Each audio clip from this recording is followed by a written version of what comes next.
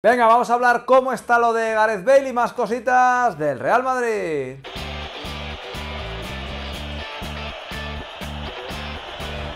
¿Qué pasa chavales? Bienvenidos a un vídeo de hoy de noticias eh, sobre el Real Madrid. Enseguida vamos a hablar de lo de Gareth Bale y el Tottenham, pero primero quería comentaros cómo ha sido la sesión de entrenamiento de hoy día miércoles. Estamos ya, pues nada, tres entrenamientos más y luego partido contra la Real Sociedad este domingo. De hecho, mañana se viene mi vídeo con la alineación que creo que pondrá eh, Zinedine Zidane, aunque eso es bastante difícil de adivinar. Y hoy, pues ha habido un entrenamiento en el que han tenido libre los futbolistas que ayer participaron en ese partido contra el Getafe. Y la buena noticia es que hoy, pues bueno, hemos visto a Jovic, a Sart, eh, a Martin Odegaard, a Isco y a Marco Asensio entrenando fuera de las instalaciones, entrenando en el césped, haciendo los diferentes ejercicios que habían diseñado eh, los preparadores, así que bueno, pues es positivo que se vayan viendo en esa dinámica porque son futbolistas eh, que han tenido de diferentes problemas, de diferente índole, golpes, eh, cansancio, lo de Asard que no termina de estar al 100%, así que bueno, pues vamos a ver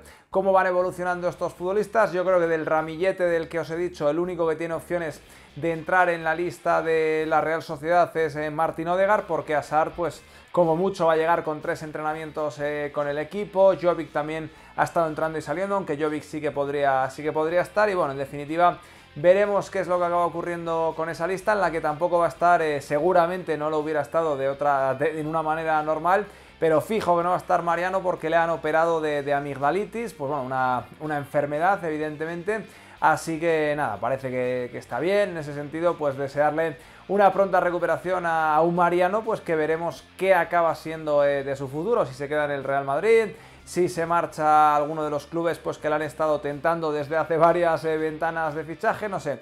Lo importante ahora que se, que se recupere, que se quede bien. Y antes de entrar en el tema Bale, tocando un poquito eh, lo de Reguilón, un par de noticias que no tienen que ver con el eh, Real Madrid, propiamente dicho, con el primer equipo, digamos, del Real Madrid, ya que el femenino, pues hoy se ha sabido que va a debutar en la Liga Iberdrola contra el Barcelona. Así que un clásico para dar el pistoletazo de salida al Real Madrid eh, femenino, que como sabréis, pues se estrena esta temporada en, la máxima competición eh, española. Me habéis preguntado alguna vez si voy a hacer algún contenido del Real Madrid de femenino y bueno, la respuesta es, no porque no, no, lo sigo, porque básicamente no, lo sigo y desearles toda la suerte del mundo, evidentemente si nos alegraremos de sus victorias, les, les apoyaremos en las derrotas que lleguen, pero yo no voy a hacer contenido, repito, porque no lo sigo. De la misma manera que tampoco hago contenido, por ejemplo, de la NBA, que es lo que os quería hablar de pasaje ahora, porque tampoco la sigo, pero sí que, nada, sigo habitualmente me refiero, pero sí quería celebrar eh, que Luka Doncic ha sido elegido en el primer quinteto de esta temporada de la NBA. Un reconocimiento realmente, realmente importante y en su segundo curso en la liga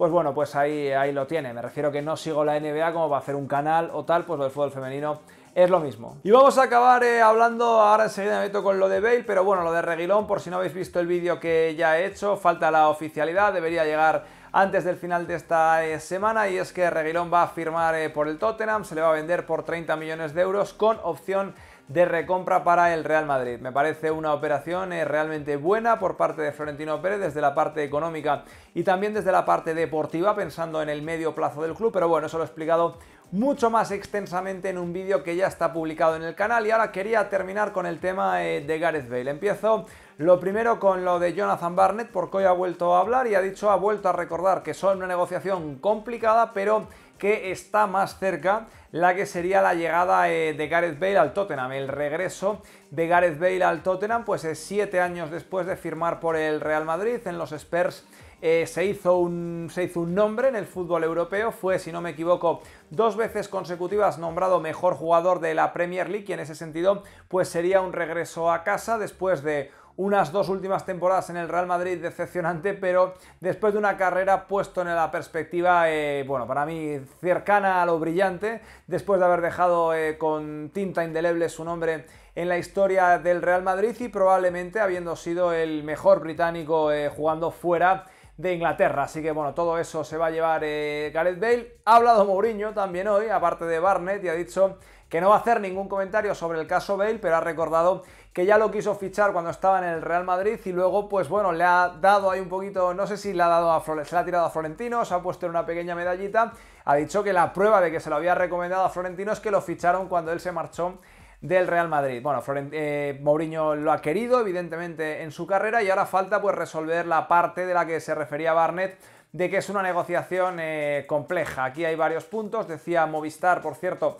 que ya habría pasado aquí en Madrid el reconocimiento médico que le validaría para, para el Tottenham, con médicos que habrán mandado desde allí, desde Londres, evidentemente. Bueno, no sé hasta qué punto está eso, pero el tema de, de la negociación es ver cómo va, cómo va a resolverse. El Tottenham tampoco quiere hacer ningún tipo de locura por Gareth Bale. Estoy convencido que es un jugador apetecible para ellos, pero que ellos también manejan una serie de dudas sobre, sobre qué versión del futbolista, del fenomenal, o anteriormente al menos fenomenal futbolista galés, se van a encontrar y quieren comprometer lo menos posible su masa salarial de, casa, de cara a los próximos años. Es perfectamente entendible, yo haría exactamente lo mismo, están buscando una operación sin riesgo y el Real Madrid está buscando lo que es un control de daños básicamente y no quedarse a este futbolista aquí en la situación que tiene actualmente eh, con el técnico. A ver cómo, cómo acaba esto. Se está hablando de mil cosas, de una cesión en la que el Real Madrid tendría que pagar una parte, una cesión en la que el Tottenham solo pagaría al Real Madrid en base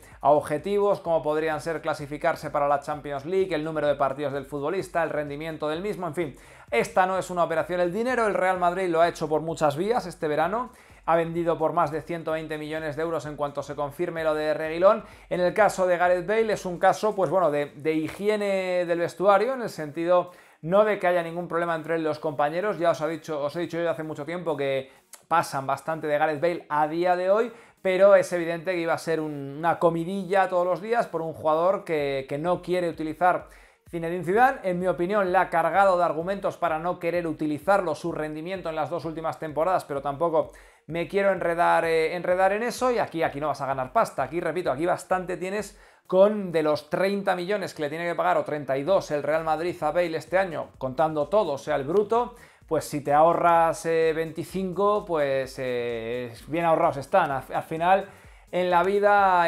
no tienes la mano ganadora siempre y aquí tampoco la tiene Bale porque no hay mano ganadora, creo, en este negocio. Va a irse a un equipo que no está en Champions, o sea, para lo que ha quedado el bueno de Gareth Bale, pero el Madrid tampoco la tenía, evidentemente. Así que nada, chicos, hasta aquí este videaco sobre lo de Gareth Bale, sobre las noticias del Real Madrid. Eh, quiero pediros un poco vuestra opinión. ¿Cómo crees que se acabará resolviendo el tema Bale? Si tienes fe de que en el Tottenham pueda volver a ser un jugador diferencial que durante bueno, la práctica totalidad de su carrera ha sido, a excepción clara de los, de los últimos años, igual alguna temporada perdida por ahí. Déjame en los comentarios, suscríbete si es que no lo estás y nos vemos en el siguiente.